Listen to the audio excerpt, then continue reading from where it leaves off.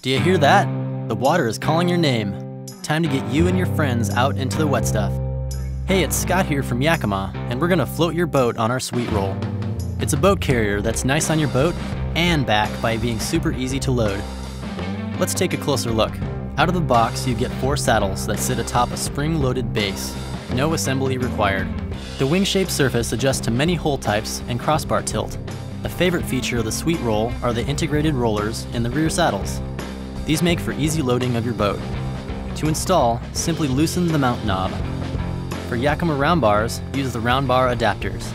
For all other bar shapes, attach the front saddles to the front crossbar and attach the rear saddles to the rear crossbar, with the rollers facing out to the rear of your car.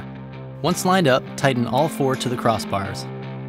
Turn the knob to the horizontal position and lock with our SKS same key system.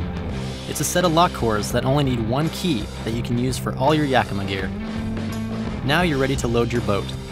From the rear of your car, place the bow on the rear saddles, then roll the boat on using the rollers to assist. Center the boat to distribute the weight evenly. At this point, check to see if you need to adjust the position of your saddles to get the most support. The Sweetroll comes with heavy-duty straps to secure your boat to your rack. Wrap the strap around your crossbar, then bring the end with the buckle up and over the boat. Then feed the end without the buckle underneath the crossbar and inside the tower. Feed the strap through the buckle and tighten. Excess strap can be stored in the strap clip. Repeat this process on the other crossbar. Don't hit the road without tying down your bow and stern. Loop the small strap through your boat, then feed the loose end of the long strap through the cam buckle. Take the loop end of the strap and feed the metal hook through, attaching it to a metal mounting point underneath your bumper. The strap sleeves protect your vehicle's finish.